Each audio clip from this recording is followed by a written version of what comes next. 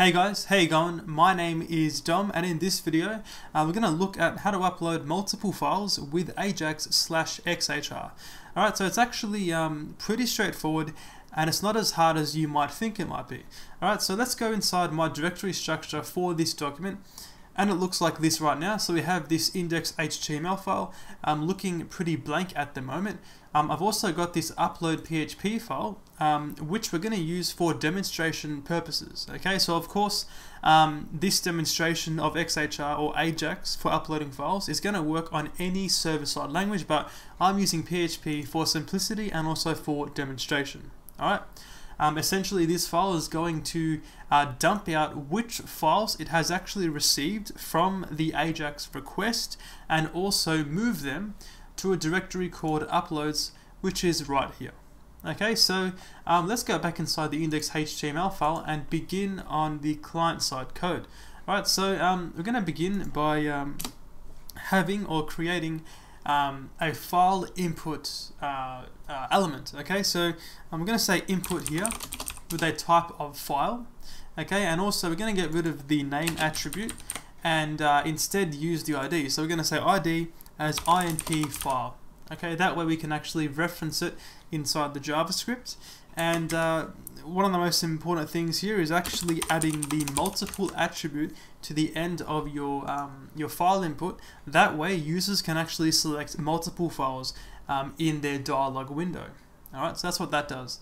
Um, and now we need uh, the submit button. So we're going to say button here um, and give it an ID of btn upload and inside here we're going to say upload files okay? So obviously uh, when I press this upload files button we're going to upload all the files contained within this input. Alright so I'm going to save this and then refresh the browser.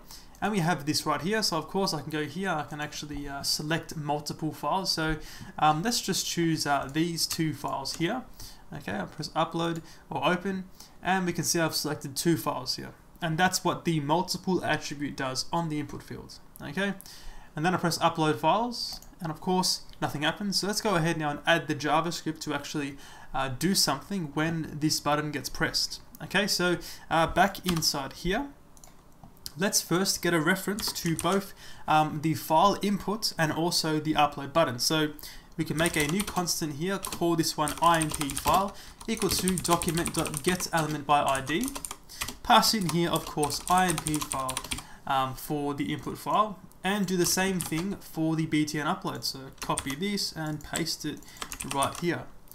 So now when the button gets pressed, we're going to say btn upload add event listener.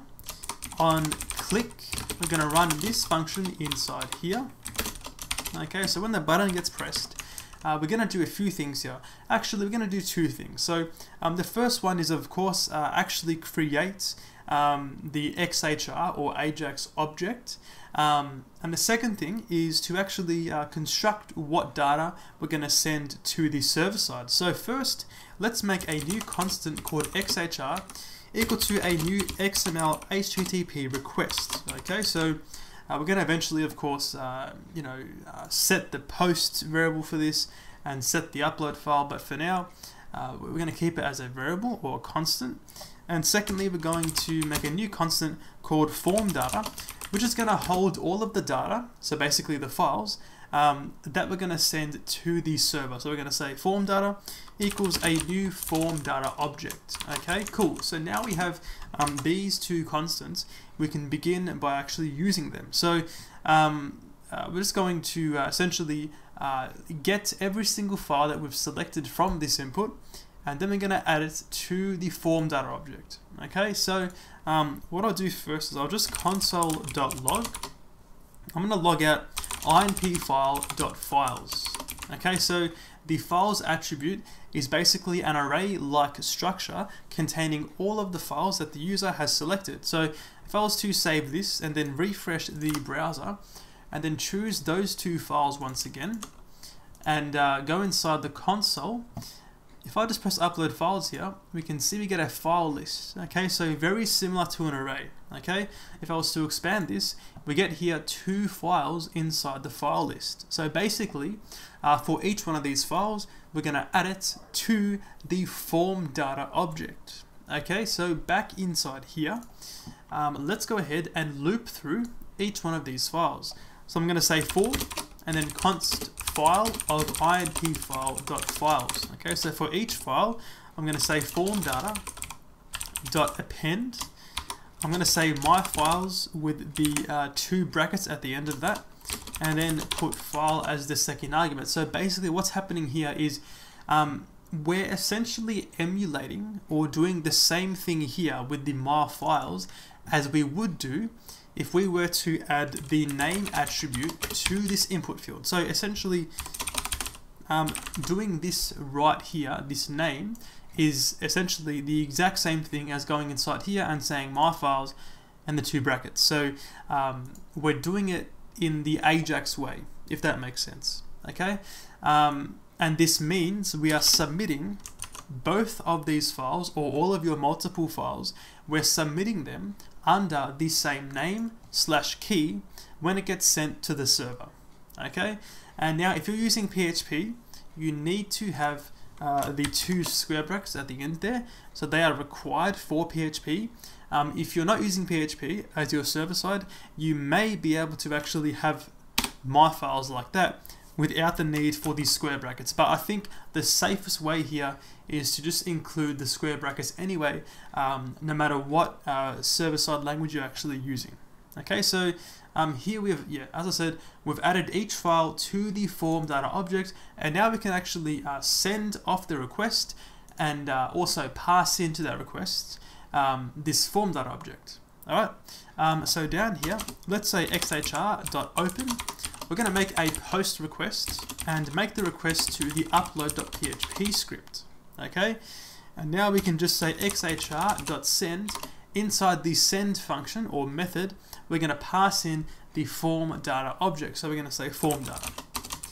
And this basically says, yeah, cool, we're going to make a post request to this upload PHP file and we're going to send um, all of your form data. All right.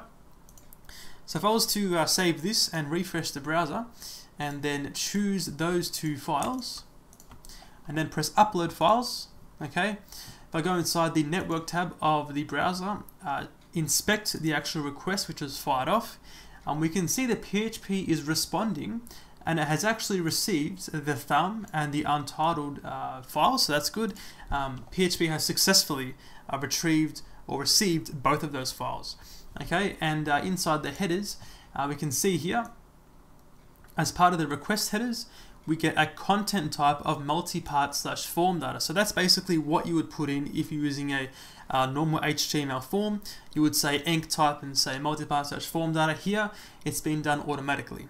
Okay, and of course on the bottom we can see uh, those files have been sent inside the form data, of course.